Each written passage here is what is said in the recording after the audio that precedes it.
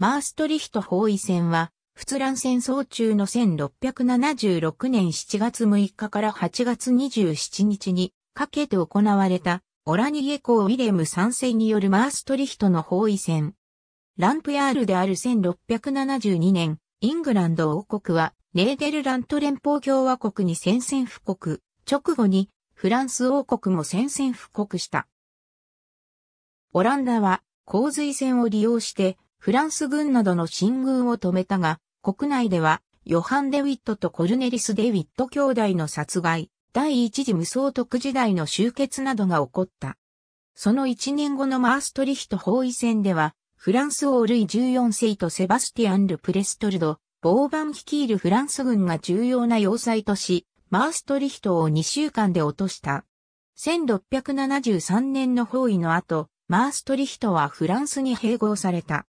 フランスのゴドフロア・デストラード将軍がマーストリヒト総督に任命されたが、彼は不在がちであり、暫定総督のフアン・サルバドールでカルボが代任を務めることが多かった。包囲戦の直後、トマド・ショワジーは、ボーバンの計画に従って、要塞の改良を開始した。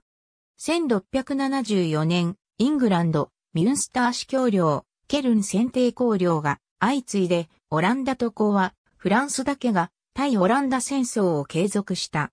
1674年8月、スネフの戦いで、オラニエ公ウィレム3世率いるオランダと、神聖ローマ帝国の連合軍がフランス軍と戦ったが決着しなかった。1675年6月、ルイ14世はマーストリヒトの防御工事を視察した。この時には、マーストリヒトがフランスによるスペイン領、ネーデルラント侵攻の基地になっており、オランダとスペインの連合軍による攻撃が予想された。1676年夏、ウィレム3世はフランスによるマーストリヒト占領を終わらそうとした。彼は、スペイン領ネーデルラント総督権、フランドル軍指揮官のビジャイルモサ公爵の指示を受けた。7月3日に、ニベルで作戦会議が開かれた後、マーストリヒトへの進軍が開始された。7月6日、オランダとスペインの連合軍は、マーストリヒトに到着した。ビジャエルモサ公爵とオランダ軍の指揮官、ゲオルク・フリードリヒ・ホンバルデックは、フランドルとブラバント地方の都市を守備しつつ、フランス軍を足止めして、ウィレム3世の後輩を固めた。ウィレム3世率いるホイン軍は、オランダとスペイン軍のほか、ジョン・フェンウィック率いるイングランド軍、そしてブランデンブルク選定公領とプファルツノイブルク、公領の軍勢もいた。包囲戦の地図しかし様々な理由により遅れが生じ、要塞への砲撃が始まるのは、到着から2週間後の7月21日のことだった。ウィレム3世は、要塞で最も脆弱とされた、北西部のボスヘフロン店でボスポールと近くの場所に攻撃を集中した。8月初にルドーファンという半月砲を占領したが、死傷者1000人を出した。一週間後には、ラレーヌという確保を攻撃したが失敗、カール・フローレンティン・ツー・ザルムが戦死した。ルービニ公爵は、ウィック近郊で、陽動攻撃をしつつ、南西部でイエーケル川とマース川の間にあるデコメン、地区を攻撃した。デコメンの守備軍は近辺を浸水させたが、ルービニ公爵は水をマース川まで誘導することに成功した。ナイメーヘンでは講和交渉が進んでいたが、マーストリヒト市長のゴドフロア・デストラードによって遅延させられ、ナイメーヘンの和約が締結されるのは2年後のこととなる。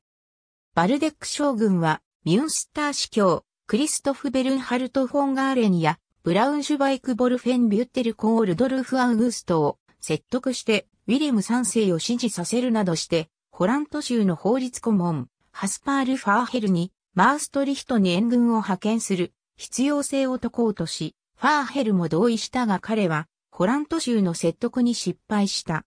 8月17日、ウィリアム3世は、フランスのマインハルト・フォン、ショーンベルク将軍からカルボへの手紙を奪うことに成功、フランスの救援軍が接近してくることを知った。この情報をウィレム3世から得たバルデックは、翌日にマーストリヒトに向けて進軍した。